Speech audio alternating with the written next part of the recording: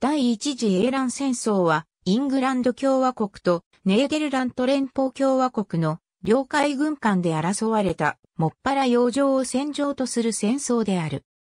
貿易をめぐる紛争に橋を発し、イングランドによるオランダ商船攻撃によって始まったが、大艦隊の出動によって戦闘が拡大した。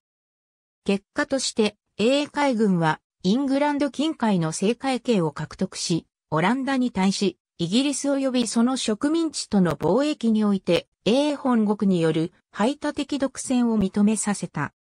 この戦争は、イギリス・オランダ戦争の最初の戦いとなった。1648年より建設の始まったアムステルダム旧市庁舎オランダ黄金時代を象徴する建造物16世紀、イングランドとネーデルラントはハプスブルク家の野心に抗して軍事同盟を結んだ。1588年のアルマダ海戦では、両国は協力してスペイン無敵艦隊と戦った。80年戦争にあっては、イングランドは資金や軍そのものを送ってオランダを支援した。オランダ政府部内には戦争での相互協力をより確実に調整するためにイングランド側の代表者が常知されていたほどである。1648年に終結した30年戦争後のスペインの国力の弱体化によって、多くのポルトガル帝国領及び、スペイン帝国領植民地とそこで産出される、鉱物資源とは事実上誰にでも手に入れることができると言ってよかった。そして、イングランドの帝国領進出は、かつての同盟国オランダを紛争の中に引き入れた。オランダにあっても、スペインとの講和が成立したため、急速にイベリア半島地域が主要な貿易相手として、従来のイングランドにとって変わったのであり、加えて1590年来のオランダ貿易に、まつわるイングランド側の遺恨もやむことなく、進行していたのである。17世紀中頃、オランダはヨーロッパにおいて他のすべての国の関数の合計を上回るほどの突出して巨大な商業艦隊を建設しており、これは主として海上の小取引に基づくものであった。オランダは、ジャワ島から日本に至る海域の貿易と通商路を独占して莫大な中間利益を本国にもたらしただけではなく、ヨーロッパ諸国間の海上輸送にも手を伸ばし、特に北海貿易、バルト海貿易において支配的な地位にあった。さらにオランダは、旧ポルトガル領の多くを征服し、東インド諸島やブラジルにおいてその交易のほとんどを支配し、莫大な収益をもたらす、香辛料取引の権限を握った。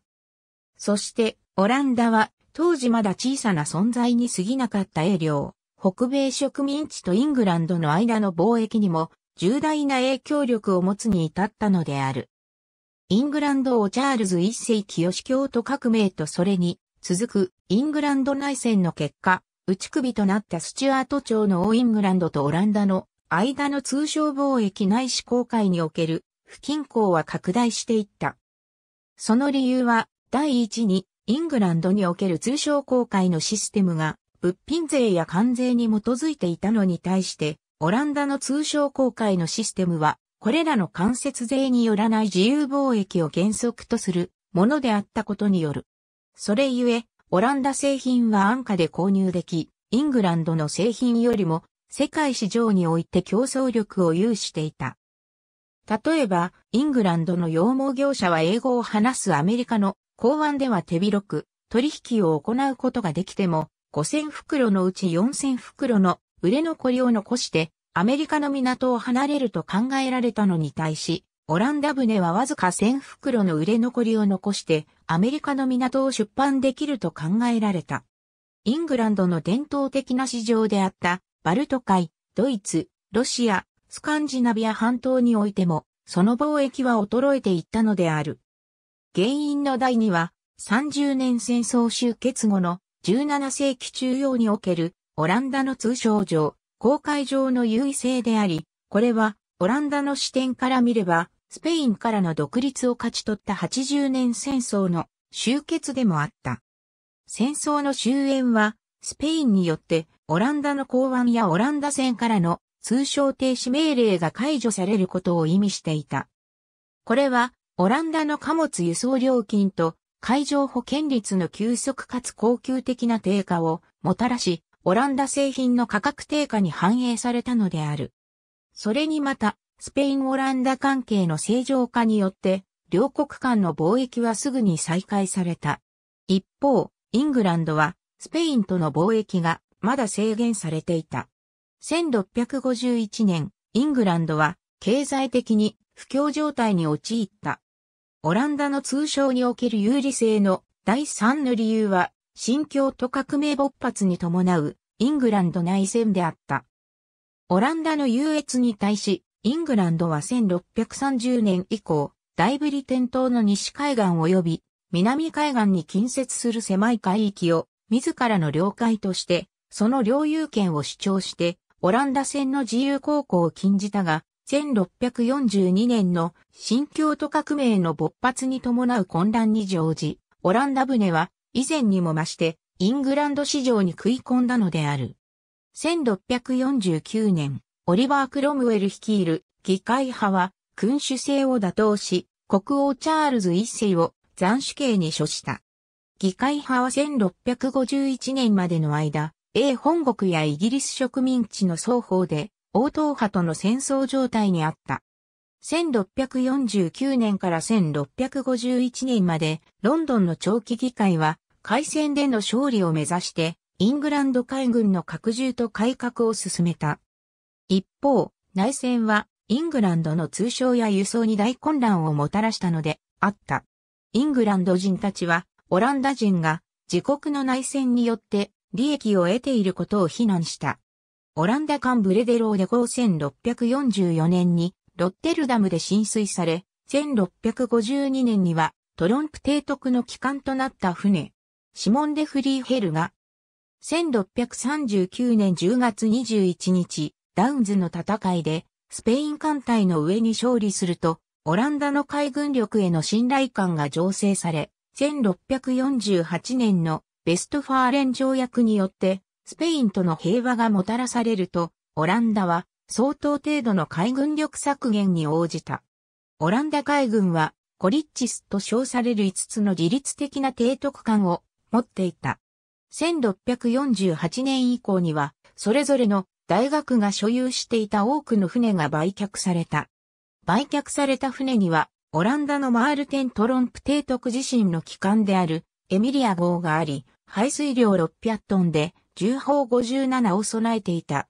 トロンプは新たに排水量600トンで54の重砲を持つブレデローデ号を旗艦とした。こうした処分の結果、1652年に第一次英蘭戦争が勃発した時、オランダ海軍にはわずか79艦しか残っていなかった。加えて、その修理状態は芳しくなく、航海に耐えるのは50艦に満たなかった。こうしたオランダ海軍における不備は、武装商船によって補われた。オランダの船は、一等艦においても二等艦においても、強大な火力を持つイングランドに比べ劣っていたので、ある。ロバート・ブレイクイギリスのゼネラル・アット・シー一方、イングランド共和国の海軍は当初、より良い条件にあり、常に改良されていた。コモンウェルスは、クロムウェル軍からの物的支援及び、兵員の供給を受けた。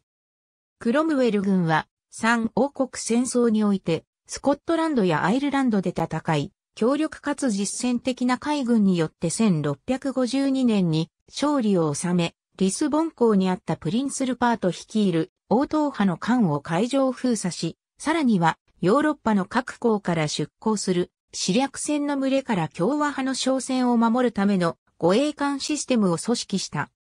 1650年9月24日、コモンウェルスのゼネラルアットシーに任じられていたロバート・ブレイクは暴風の中、ポルトガル艦隊を打ち破り、ポルトガルの海軍中将を海に沈め、7隻の艦船を打破。さらに、ポルトガルに対しルパートの保護を中止するよう強制した。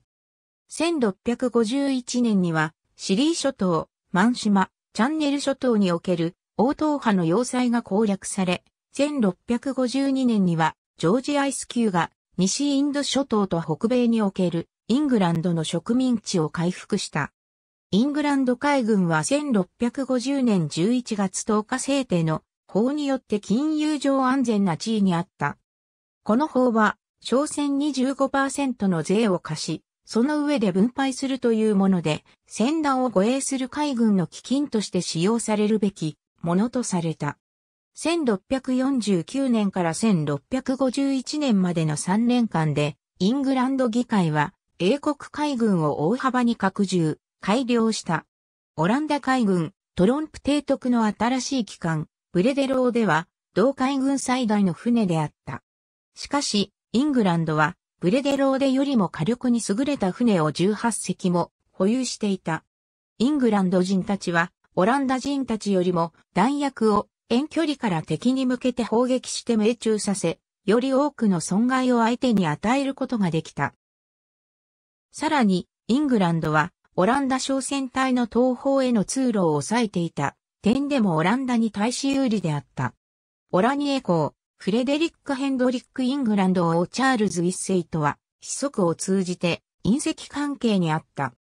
1642年から始まったイングランド内戦中、オランダ総督のオラニエ公、フレデリック・ヘンドリックは、その家族的な結びつきからチャールズ一世に財政的な支援を与えており、それはオランダの強力な軍隊がまさにイングランドに介入しようという瀬戸際にあったほどである。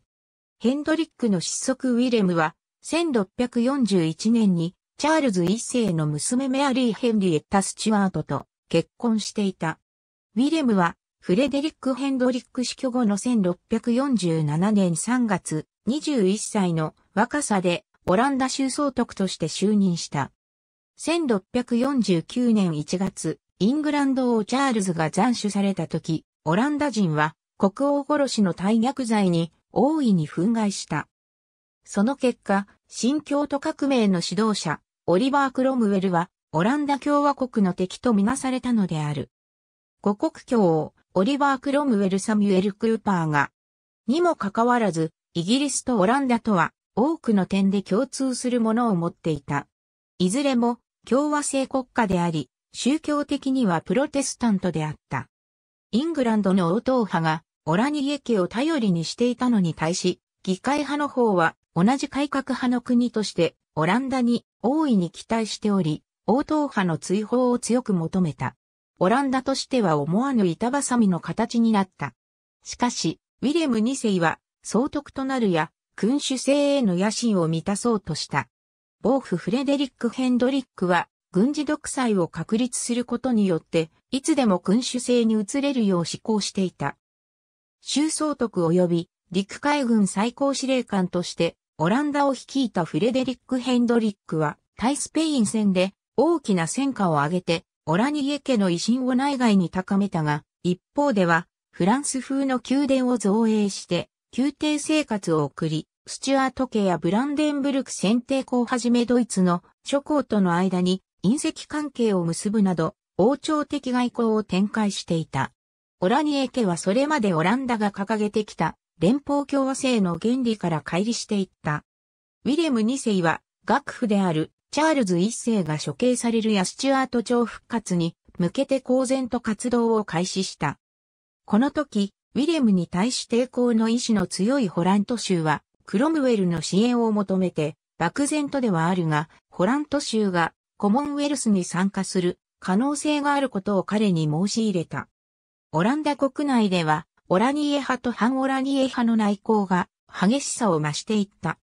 ウィレム2世は1650年7月、反オラニエ派の有力者、ヤーコブ・デ・ウィットをルーベステーン城に拘束したり、同族にあたるフリースラント州総督、ウィレム・フレデリックと手を結んで、アムステルダムを包囲したこともあった。1651年、航海条例がイングランド議会を通過し、 English bottoms すなわち、イングランド船を用いて出荷されない限り、アメリカのイングランド植民地との貿易が制限されるようになった。実際に、世界中のどこからでもイングランドないしその植民地の港に運ばれる荷物はイングランド船で搬送されなければならないとしたのである。そしてまた、公開条例はチャールズ一世とつながり応答派に共感を示すイングランド、植民地との全取引を禁止した。公開条例の初期定を受け入れることは、オランダ人からは、オランダ貿易がイングランドの貿易システムに従属するものとみなされた。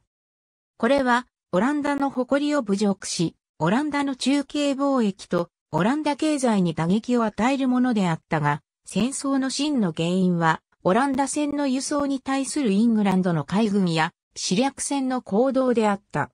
1651年、オランダの商船140隻が公海上で押収された。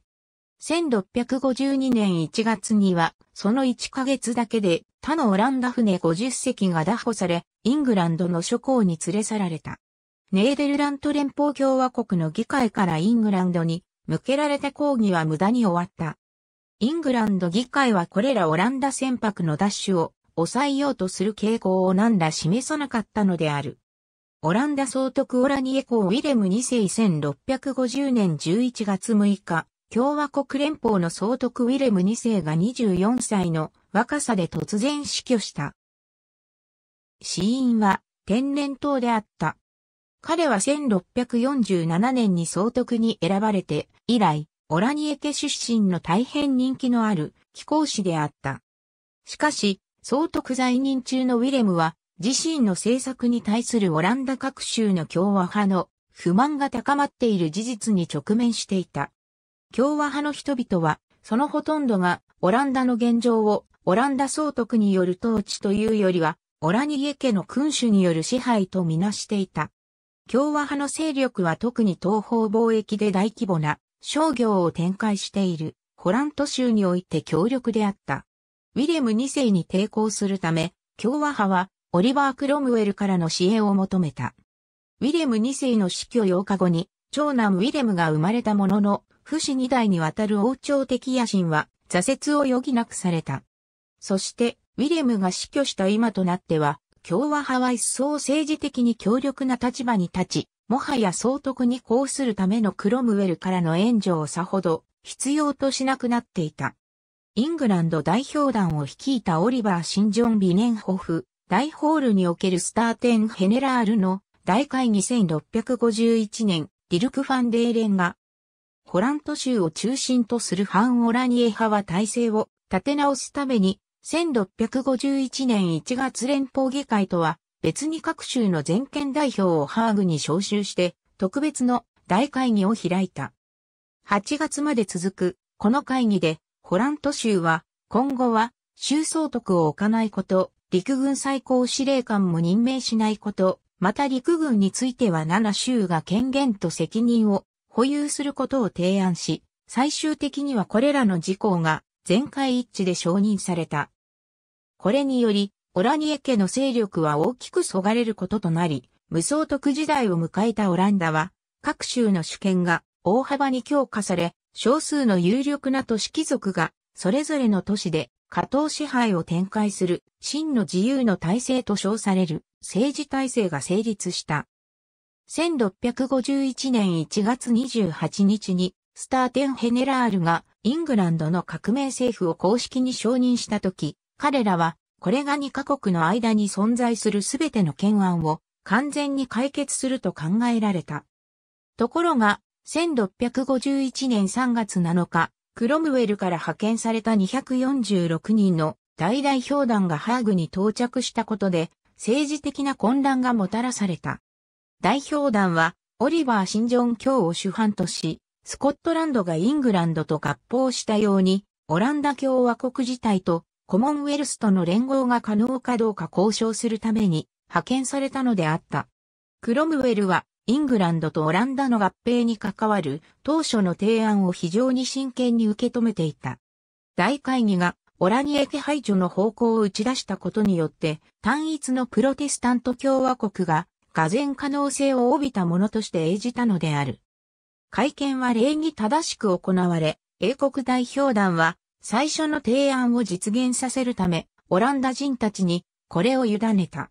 オランダ人たちはその守備一貫した姿勢に驚愕し、そして困惑した。1ヶ月にわたる協議が暗礁に乗り上げた後、イングランド代表団は世界を二大勢力範囲に分割するクロムウェルの計画を明らかにした。それは、オランダ人がアフリカとアジアを支配する代わりに、イングランド人が南北アメリカをスペイン人たちから取り上げ、ここを征服することに対しオランダ側が手助けをするというものであった。クロムウェル自身は同じ新教国であるオランダとの戦争を必ずしも望んではいなかった。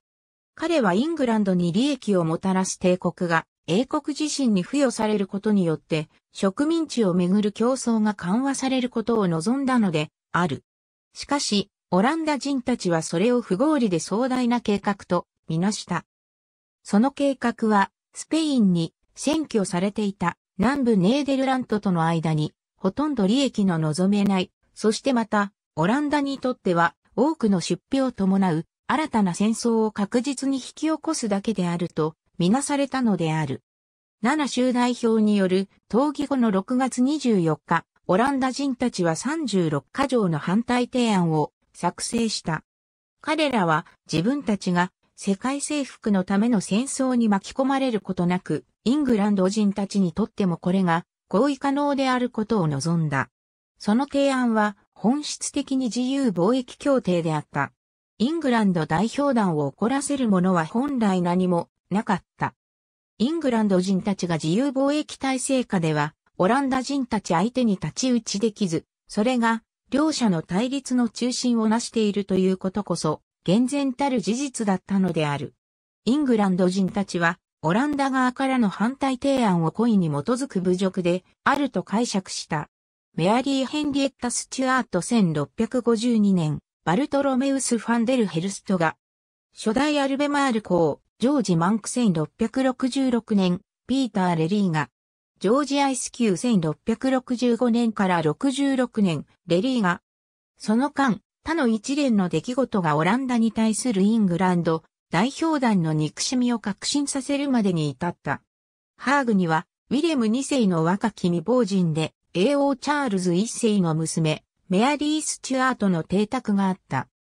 彼女がこの町にいることによって、スコットランドにおいて、彼女の兄、チャールズを相手に戦わなかった英国の亡命貴族の大半がハーグに集まった。こうして、ハーグの町は、イギリス王党派の砦となった。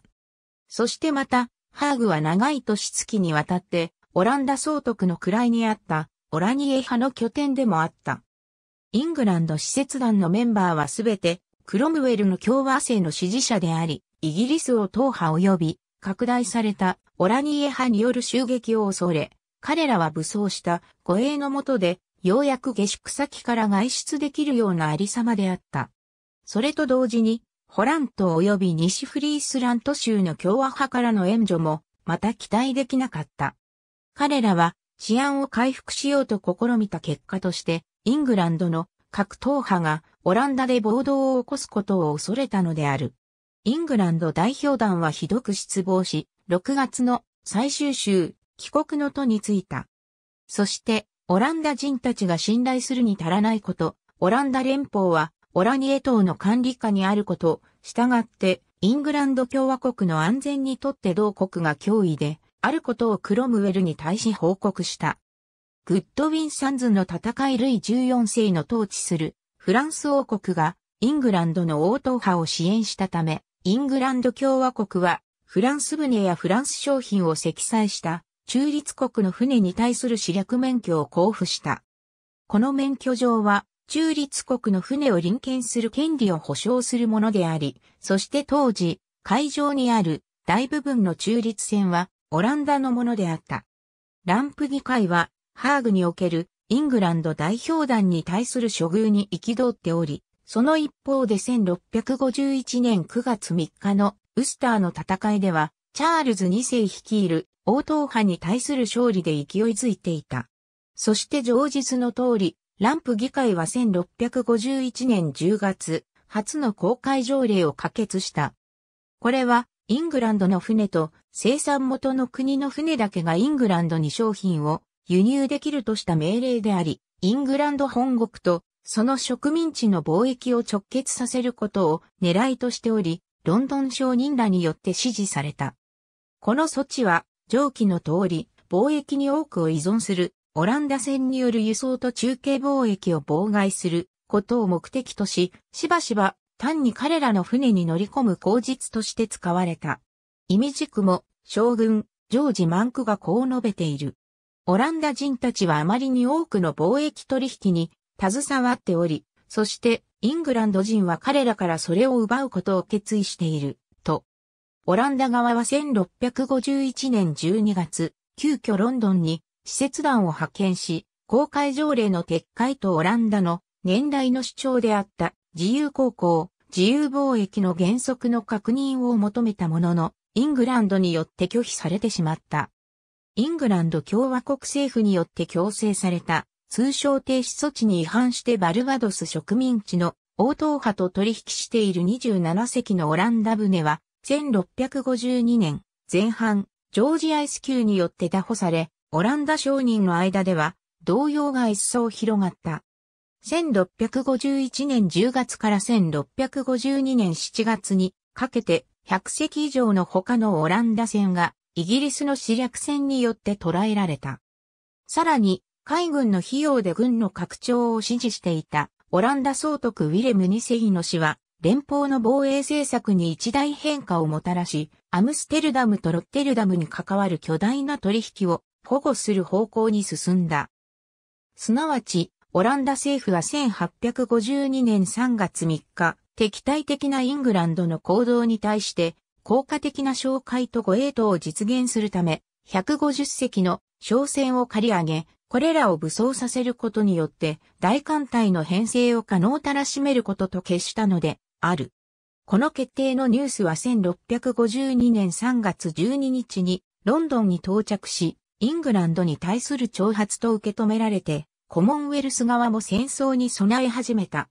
イングランドとしては、オランダ艦隊司令官にマールテン・トロンプがいることも不信感の種であった。トロンプはオラニエ家の信奉者である上、1639年のダウンズの海戦でスペイン艦隊を壊滅させ、1642年にはネーデルラントに向かうイングランド商船を拿捕し、1648年にはイングランドを脱出する王党派の船を護衛するなど、イングランド人たちが自らの領海と考える海域にしばしば侵入する常習者とみなされていたからであった。しかし、英蘭両国はいずれも準備ができていなかった。1652年5月29日、ドーバーにほど近いイギリス海峡において、マールテン・トロンプとロバート・ブレイクの艦隊とが、もしも不幸な出会いをしなかったらば、戦争はもっと遅く始まったかもしれない。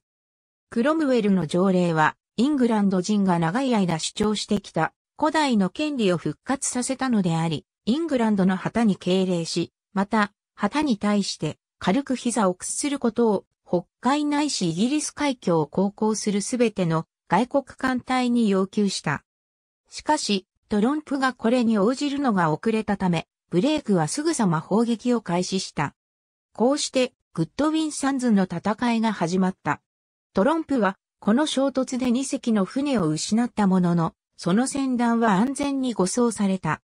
オランダのニシン漁を破壊する命令を受けたブレイクは、艦隊を北上させ、シェトランド諸島近海で操業中のオランダ漁船団を攻撃、護衛についていた軍艦12隻を拿捕し、漁船100隻以上を撃沈、または拿捕した。ロンドンでは、オランダ大使が戦争回避のために交渉を求めていたが、トロンプの行動が問題となって最初から望みは薄かった。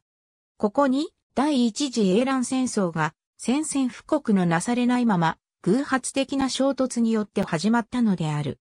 アドリアン・ポーイットでワイズ・ケンティシュノックの海戦右にランセン、ブレダローデと A 線、リソリューションの決闘、左には巨大な A 線列艦、ソブリン・オブ・ザ・シーズが描かれている。アブラハム・ウィラールトが、ミヒール・デロイテル第一次英蘭戦争の戦場ガッバードの海戦。右に、オランダ機関、ブレダローデと、栄艦、リソリューションの軍事行動が描かれる。ヘアーマン・ウィテモントが、戦争を防止する最後の必死の試みとして、オランダ連邦は彼らの最高の当局者である、大議長のアドリアン・ポーをロンドンに派遣させたが、それは無駄に終わった。イングランドの要求は一層過激さを増し、自ら自尊感情を表さずには会見することができないくらい極端になっていた。戦争は1652年7月10日、イングランド議会によって宣言された。オランダの外交官は何が死活問題になっているかを理解した。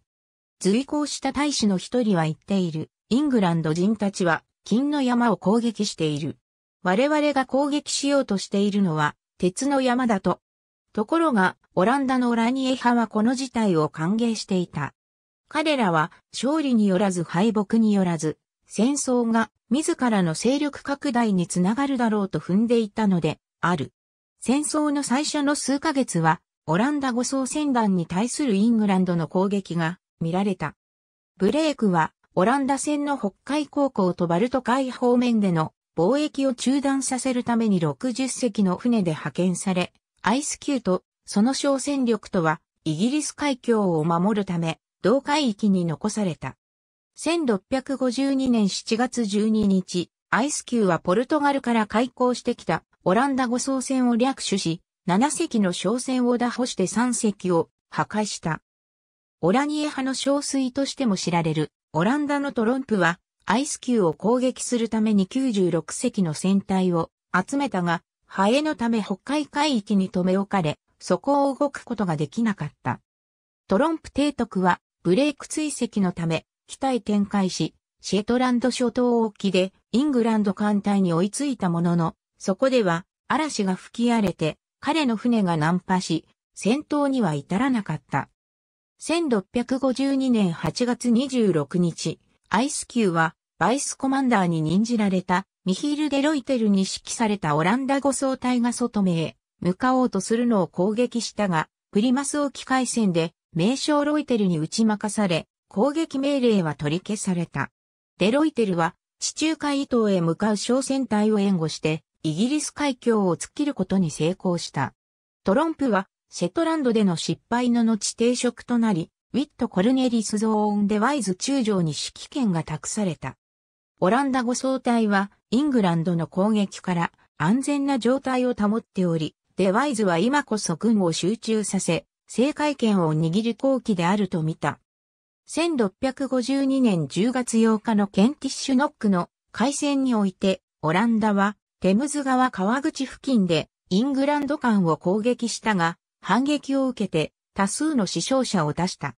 イングランド議会はオランダ軍の敗色濃厚とみて、地中海海域での地位を強化するため、20隻の船を送った。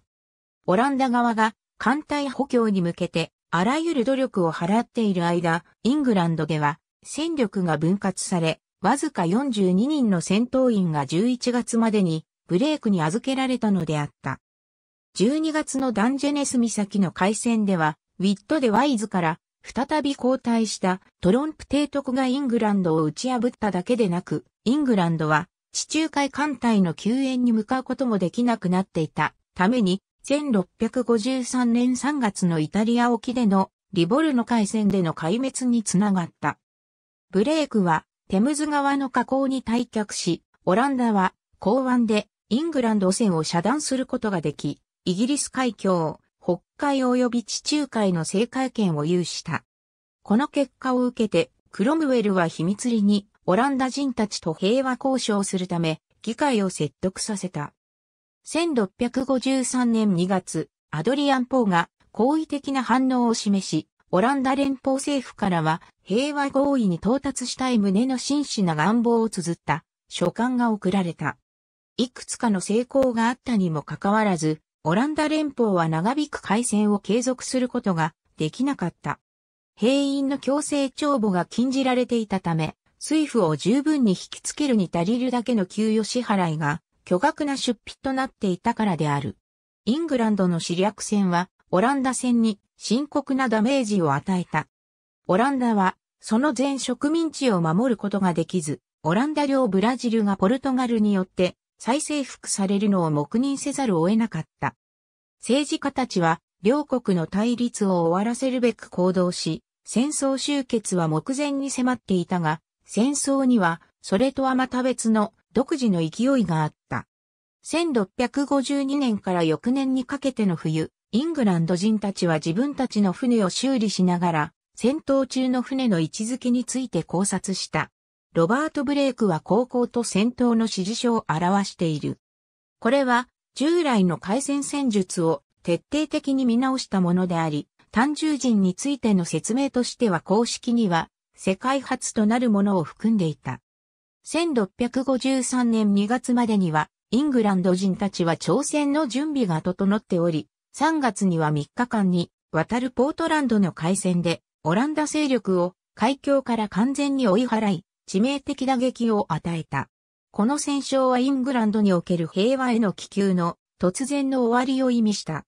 3月18日、スターテンヘネラールはイングランド議会に詳細な和平提案を送ったが、その答えは4月11日になってからようやく送られ、しかも、前年6月にアドリアン・ポーに待ちぼうけを食わせたのと同じ要求を繰り返しただけのものであった。イングランド側からすれば、交渉以前にオランダの和平案を受け入れることは交渉の開始を意味していた。オランダ議会はイングランドからの返答を無視し、4月30日に中立国で交渉を開始するよう求めた。5月23日、クロムウェルは戦前に開会されたランプ議会を解散し、6月5日にスターテンヘネラールによってロンドン派遣の決まったオランダ施設を迎えようとした。その間、イングランド海軍は北海の政界権を握るため、6月のガッバードの海戦における3日間の戦闘でオランダの背後を叩き、オランダ船を母港に退去させた上で海上封鎖を開始した。南部ネーデルランドのニーウポールト沖で戦われた。この戦闘は史上稀に見る激戦であった。そしてイングランド艦隊による海上封鎖は直ちにオランダ経済の崩壊ないし飢餓という事態さえ招きかねないものであった。オランダ人たちはバルト海方面からの小麦とライ麦の定期的な供給が滞ったことで都市に密集する住民を養うことができなくなり、農産物価格が急騰したため、貧しい人々は食料をすぐに購入することができなくなってしまった。スヘフェ人間の戦いで戦死したマールテン・トロンプ。この戦争最後の戦いは8月のスヘフェ人間の海戦であったが、これは双方にとって代償の大きな戦闘となった。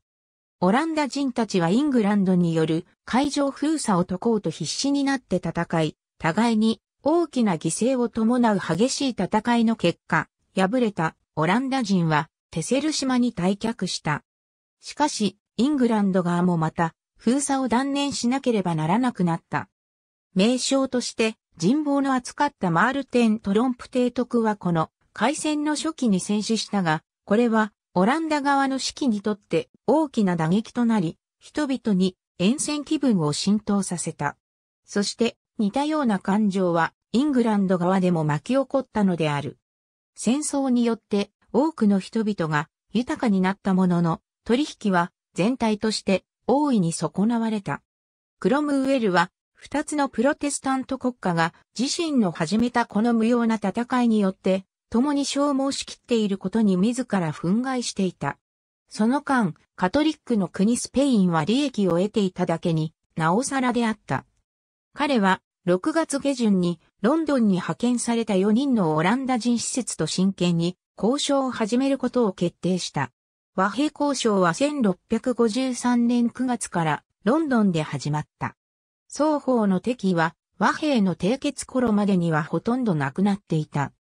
20年間にわたりオランダ黄金時代を指導した敏腕政治家、ヨハン・デビット・アドリアン・ハンネマンが後にオランダ総督、名誉革命後はイングランドの統治者となったウィリアム3世は1654年4月当時まだ3歳の幼児であった。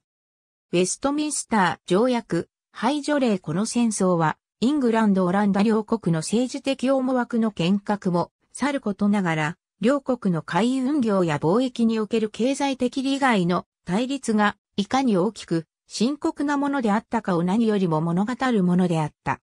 イングランド五国境、オリバー・クロムウェルは、再び、彼の当初の計画であった、エーラン二国間の政治同盟を提唱したが、この申し出は10月21日に、スターテンヘネラールによって拒絶された。それは、オランダ人たちがコモンウェルスに加わる、ほんのわずかな傾向さえ持たないとクロムウェルが、ようやく理解したほど断固としたものであった。ついで、ハーグ派遣のイングランド代表団が2年前に行った議論を繰り返し、スペインに対抗する軍事同盟を提案し、イスパノアメリカ、すなわちスペインの支配するアメリカ大陸各地の征服において、オランダが援助することと引き換えに公開条例の廃止を申し出た。これもまた拒絶された。結局、両国の懸案であったはずの公開条例は依然、効力を発し続けたことになる。この結果を受けてクロムウェルは少し悩みながらも27条項にわたる提案を行った。ただし、そのうちの2項目は、オランダ人たちからすれば、全く受け入れがたいものであった。一つは、オランダ国内のすべての応答派を追い出さなければならないことであり、もう一つは、オランダの同盟国であるデンマークをスウェーデンと王国の戦いにおいて見捨てなければならないことであった。結局クロムウェルは降参するより他なかった。1654年4月15日、ウェストミンスター条約が調印されて平和が宣言され、4月22日には、スターテンヘネラールが、4月29日にはクロムウェルが、これを承認した。この条約は秘密の付帯条項として、排除令を伴っており、それは最後のオランダ総督ウィレム2世の息子ウィレム3世が、亡き父の位につくのを禁ずるというものであった。この条項は、明らかにオラニエ派を恐れるクロムウェルの要求を踏まえたものであり、おそらくは、オランダ共和派の主要な政治家で、1653年7月に、新しく大議長となった若きヨハン・デウィットとその叔父であるコルネリスでグラーフのひそやかな願望でもあったために挿入されたものと考えられる。なお、オランダは以後イギリス海峡において、英国旗に対し敬意を表すことを約束し、また、1623年にアンボイナ島で起こったアンボイナ事件についても、オランダ側が譲歩し、オランダ政府が8万5千ポンドの賠償金をイングランドに支払うことで決着が図られた。しかしながら、二国間の商業的なライバル関係は解消されなかった。特に彼らの新興海外植民地では、オランダとイングランドが貿易会社が軍艦と兵員を自前で所有しており、両者間の交戦が続いた。オランダはケンティッシュノックとスヘフェ人間で失った明白な船舶の不足を補う戦列艦の建造計画に着手した。この時、海軍本部は法律によってこれら60隻の新しい船の売却を禁じられている。クロムウェルはオランダとの講和が成立すると彼が宿敵とみなしたスペインへの攻撃を開始し、翌1655年5月にはジャマイカを占領した。この戦争はイングランド王政復古の1660年まで続いた。ありがとうございます。